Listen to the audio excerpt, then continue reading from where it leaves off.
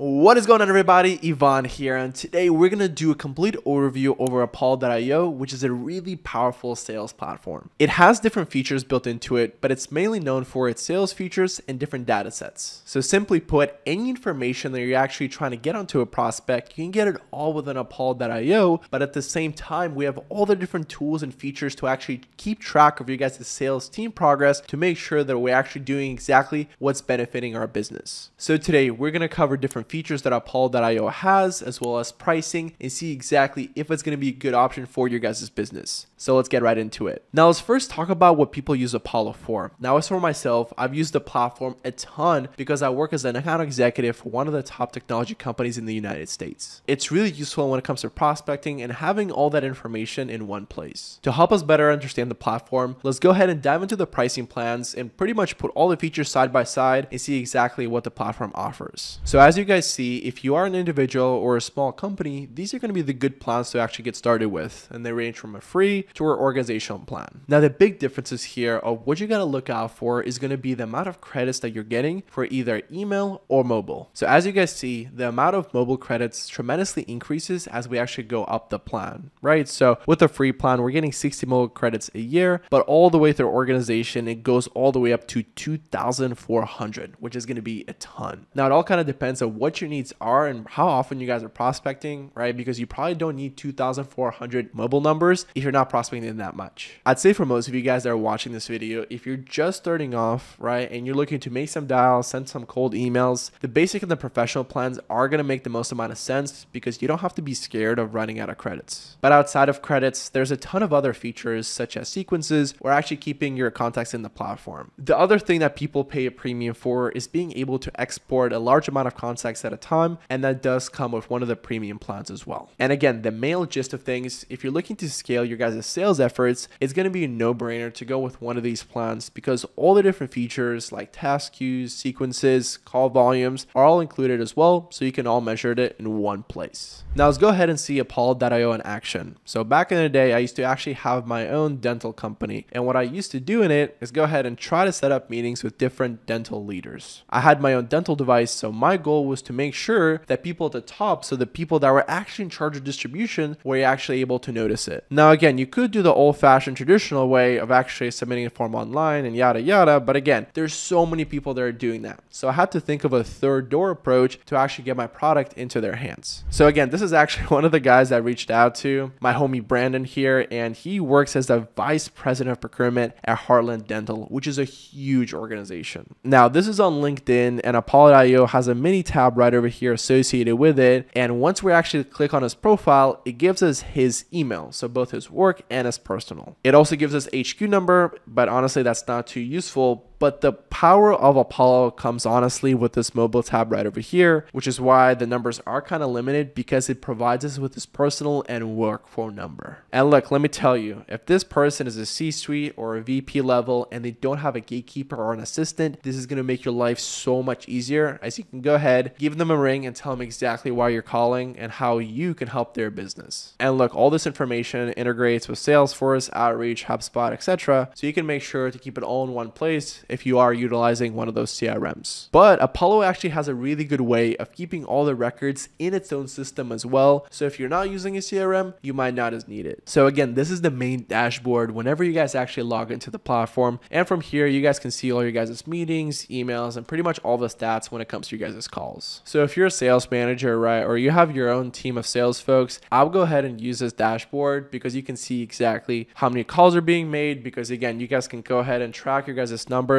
all into Apollo, making it super easy to, again, keep track of performance and things like that. And there are a ton of different ways to put a lot of touches on different prospects, such as a sequence option right over here. Let me show you how it works. Let's go ahead and press create sequence. I will comply. And just for an example's sake, let's just go ahead and use one of the templates. And boom, check it out. Let's say we're actually tailoring it to a specific role. So on the very first day, it's gonna have us send a manual email. Now it's gonna pre-populate its first name, basic stuff like that, but all the personalization tokens we can go ahead and edit it. So that way, the actual person we're reaching out to has a good, better chance of responding. And from that point on, it's going to kind of space it out for us and assign us different tasks. So that way, we stay nice and organized when it comes to our outreaches, calls, LinkedIn requests, etc. So look, in this example, it's going to give us a task to make a call, then send a connection request, then it's going to go ahead and send an automatic email, phone call, LinkedIn. You guys get the point. Again, the main benefit of this is to number one, keep you guys organized, but at the same time, buy you guys more time because a lot of these follow ups and automatic emails, it just takes so long to do. So making it easier, giving you guys time back to actually sell makes your job a lot easier. And the email tool is pretty neat because it does directly connect your guys' email mailbox. And from that point on, you can actually see how many times a prospect opened up your email, which is really nice. But at the same time, you can go ahead and customize your guys' emails because let me tell you, if you're just sending out automatic junk,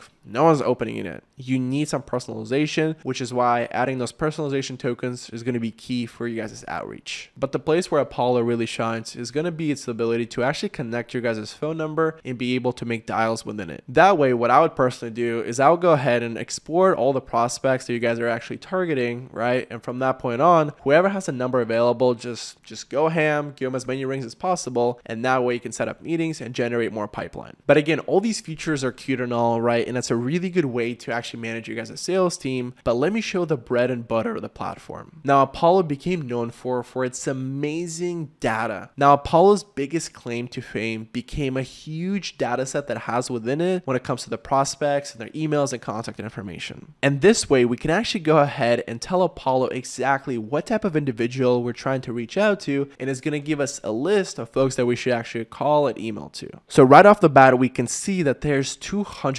287 million people on the platform whose data we actually have. But let's go ahead and customize it by a job title. So over here, let's go ahead and make it an owner, right? If we're reaching out to owners. Now, as we see right off the bat, there's going to be 2.5 million people left. This is going to be important because we want to make sure that we're actually reaching out to the decision maker or someone that has a buy-in within the platform. Because if we're reaching out to someone at the very bottom of the totem pole, a lot of times they just don't know what to do. From there on, again, we can customize it by location. So for example, let's put Los Angeles, where I'm from. As you can see, that number quickly dwindled down to right below 44,000. Let's also make sure that the revenue numbers are also pretty good because we don't want to be reaching out to owners that just don't have a budget. Let's go ahead and make a million or more as a revenue and that they receive Series A funding because then for sure they got dollars to spend. So alrighty, awesome. Now that actually leaves us with just 40 people we can reach out to. And again, there are different ways we can customize it depending on what niche we're selling to. But again, I'll let you guys be creative with it. And the cool part about this is from here, we can actually export all these people's information, right? We can put them in a sequence, call queue, stuff like that to make sure we're actually getting touches on these people to develop our pipeline further. And again, from here, what's really cool is we can throw all these guys into a sequence, a call queue, stuff like that to make sure that we're actually developing our pipeline. Because look, the more pipeline they have, the more revenue comes through the door, the happier you're going to be.